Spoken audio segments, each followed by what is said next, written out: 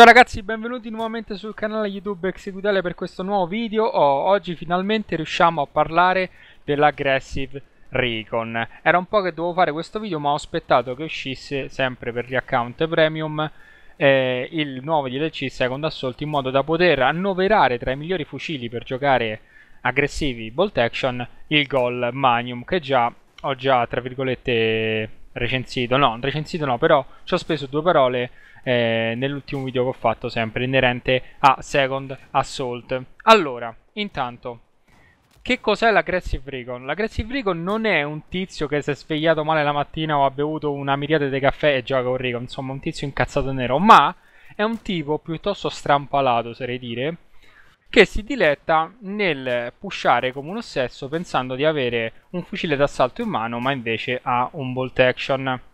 Eh, tutti quelli che dicono, beh, no, l'aggressive recon è quello lì che fa, è utile alla fazione, quindi com compie gli obiettivi, cattura le flag, però gioca aggressivo col, col bolt action.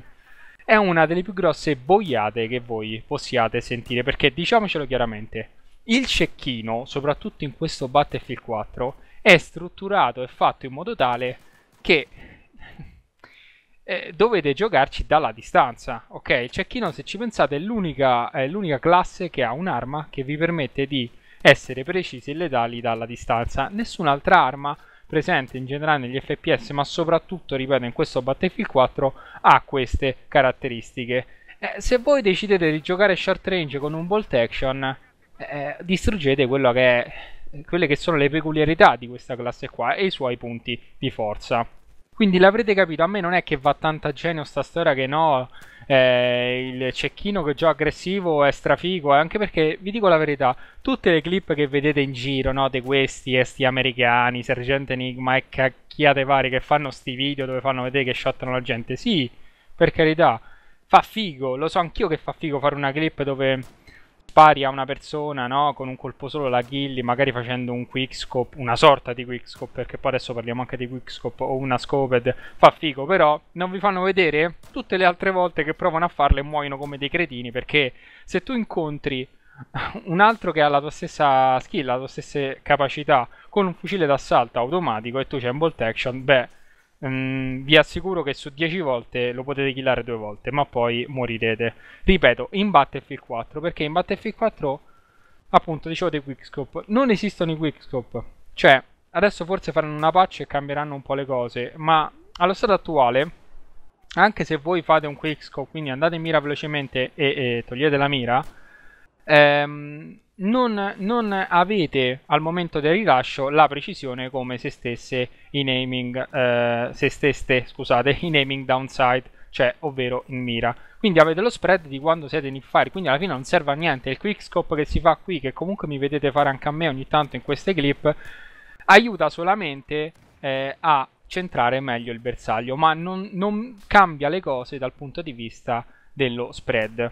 Poi, oltre a questo aspetto qui legato al quickscope, ci sono tutta un'altra serie di complicazioni che vi rendono veramente la vita difficile quando volete giocare aggressivi con un bolt action. Beh, prima fra tutte la soppressione, sapete che in Battlefield 4 c'è la soppressione e il cecchino ne soffre tantissimo. Infatti quando siete soppressi dovete arrestare la vostra azione eh, e aspettare che finisca perché altrimenti non prendete nessuno. Un altro aspetto negativo riguarda il moltiplicatore di danno perché sì è vero sotto i 12,5 metri tutti i cecchini fanno 100 di danno però se colpite a un braccio ad una gamba il vostro avversario si trova a 7% di vita perché il moltiplicatore è di 0.93 quindi molte volte eh, è capitato a me e capiterà anche a voi che fate uno shot stupendo ma lo prendete su un arto lui rimane a 7% vita e magari per vostra sfortuna ha un SMG in mano o comunque un'arma con un rate molto elevato, vi spara una raffica e voi non fate in tempo o a sparare il secondo colpo o a tirare fuori la vostra sidearm. Quindi vedete, è veramente complicato in Battlefield 4 cercare di giocare con questo stile di gioco. Ma prima di darvi qualche consiglio su come giocare eh, aggressivi col bolt action, vorrei tornare un attimo sul discorso del perché fa figo, no? Questo, questa cosa qui e vorrei un vostro parere, quindi scrivetemi eh, nei commenti eh, quello che pensate, cioè perché va tanto di moda. Io vi dico la mia, intanto, anzi non vi dico la mia, vi faccio riflettere. L'avete mai visto da vicino un fucile a otturatore girevole scorrevole, si chiama così in italiano, no? Se non lo vogliamo chiamare bolt action e vogliamo fare gli italiani. L'avete mai visto da vicino? Eh, io sì, ed è un qualcosa che è bellissimo. Eh, non è complicato vederlo, basta che insomma avete un amico o qualcuno che, fa, che faccia fa, insomma, la caccia di selezione. Si utilizzano questi fucili qua, ovviamente con calibri civili, ma sono l'equivalente insomma di quelli da guerra. E capite subito, eh, guardando uno dal vivo, che non è un'arma che voi buttereste lì in mezzo alla mischia. Sarebbe un po' come prendere una macchina di lusso e farci rally. Quindi è un qualcosa veramente distorto se ci andiamo a pensare questa cosa qui. Eh, comunque, vi ripeto, ditemi eh, quello che pensate voi in merito a questa cosa qui e magari fatemi capire meglio a me perché fa veramente, ripeto, figo e così stiloso giocare aggressivi con un bolt action. Ok, come ho già detto in qualche video passato, io non mi ritengo assolutamente un esperto del cecchino, per il semplice fatto che non lo utilizzo tanto, a differenza di altre classi, come ad esempio l'assalto, che l'ho giocato tantissimo a Bad Company 2, a BF3, a BF4, quindi eh, anche il geniere. Il Recon invece è una classe che utilizzo di rado. Poi ovviamente eh, ci gioco eh, perché è divertente, anche perché sennò sembra quasi un discorso ipocrita come si sta distruggendo questo stile di gioco, però ci hai fatto un video sopra. No, è divertente, questo lo ammetto, tant'è che ogni tanto mi piace anche a me giocarci eh, con l'Aggressive Recon, però eh, alla fine non è un qualcosa che utilizzo al massimo. Detto ciò, provo comunque a darvi qualche consiglio. La prima domanda che uno si fa quando vuole provare a giocare in questo modo è che ottica utilizzo. Allora, so che molti ritengono eh, il 6x o l'8x le ottiche migliori. Io faccio, vi faccio un discorso eh, un po' particolare. Visto quello che vi ho detto sul quickscope, no?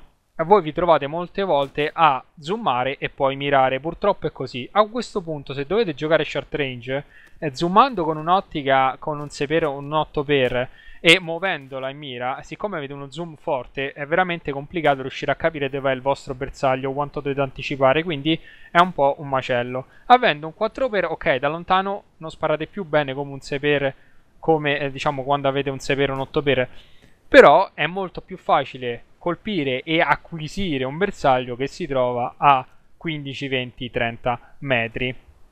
Quindi sicuramente eh, io preferisco, se devo giocare short range con un bolt action, un 4x o addirittura un 3.4 x perché in questo modo anche se io non ho fatto eh, un quickscope diciamo perfetto iniziale posso eh, andare a targettare il mio bersaglio. Con un 6x o un 8x se voi avete messo in mira in una zona un po' distante dal vostro bersaglio diventa complicato andarlo a riacchiappare Riguardo proprio a questo, un altro consiglio che vi do, oltre al fatto di utilizzare mirini con uno zoom non troppo elevato, è per fare un, queste sorta di quickscope dovreste eh, mettere prima ancora di andare in mira eh, il bersaglio in mezzo al vostro crosshair bianco cioè ovvero questa croce bianca che avete, no? Che in Battlefield 4 c'è, è uno dei pochi aspetti positivi di Battlefield. Molte volte nei giochi, quando avete il cecchino, non avete nessun tipo di eh, crosshair sullo schermo. Qui c'è, sfruttatelo. Ovvero, prima di andare in zoom, cercate di traccare il vostro bersaglio in hip fire. Quindi mettetelo in mezzo a sta croce bianca, dopodiché potete